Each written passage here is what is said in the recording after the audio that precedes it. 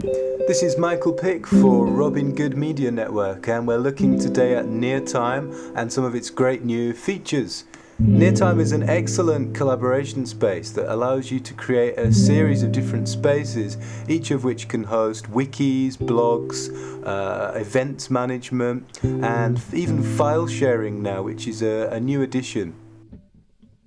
First up we're looking at the creation of a home page which can be completely automated to just display the latest information that's been added to your personal space or you can create your own. In the menu up here you can see you can go to the home, uh, create a new page, have a look at all of the pages that have been published, those that have just been recently changed and you can even print them off which is a nice feature. Creating a new page is very simple and uses a what you see is what you get editor with very simple straightforward kind of interface. Also, if you want to create new wiki pages, that is just as easy. All you have to do is highlight some of the text and without having to use any code whatsoever you just click on the little link at the top and that opens up a new dialog.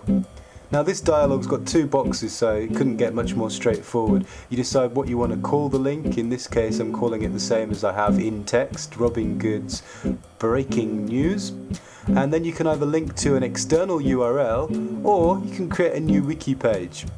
Now if the wiki page already exists and you put the title in obviously that's going to link to that but if it doesn't exist that's not a problem either. People can basically create that link when they click on it. If you look down here, you see the link that I've just created has a little question mark after it. That means the page doesn't exist yet. When I click on it, that will therefore open up the page editor. So someone can create that page for us now. Again, same interface, so really simple. The events management is very nice looking and very very easy to navigate as well. New events are created up here in the little tab. You can import from iCal and you can also export as well so that's quite nice in that you've got that sort of interoperability. Now creating a new event is as simple as giving it a name, deciding uh, if you want to have a location, perhaps if it's an offline event, you might want to tell you where, where the meeting's taking place, and you can give it a description in which you can also use wiki syntax if you want to create links or special formatting. You can decide obviously when you want it to take place, if it's going to be an all day affair, if it's going to be between particular dates or times, and you can also announce it in the news, which is very nice. The news page will now have at the very top uh, a little bit of information telling people that this event has now been added and that it's something they need to take a look at. So when you click on the create you get basically uh, that will appear inside the calendar. If we click on that on the right in the purple box as you see the information we've just created is all on display.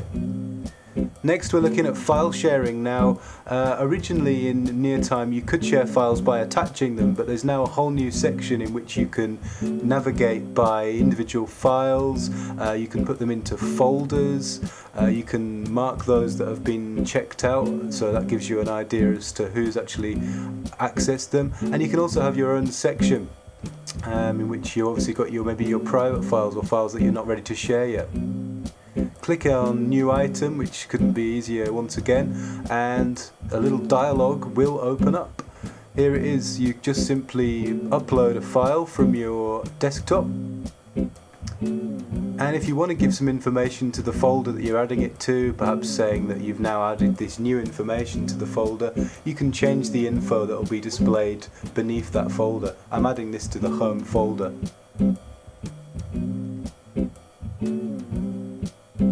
Now the member section is great as well. You can create obviously your own um, profile. You can invite an individual to come and join you in your collaboration space or invite a whole group of people at the same time and when they have joined you can send a message to everyone. This will basically send out a group email so that's a nice simple way to get everyone involved uh, contacted at once. Now finally we've been given a sneak preview of the new dashboard feature which means that every individual user will have a unique start page um, and in this start page they can look at the latest information or tagged or information that they've personally added, uh, which events are currently coming up and they can also look at the files that have recently been added. So this is a really nice way to give each person a personalised start to the collaboration space. This has been Michael Pick checking out the near time new features.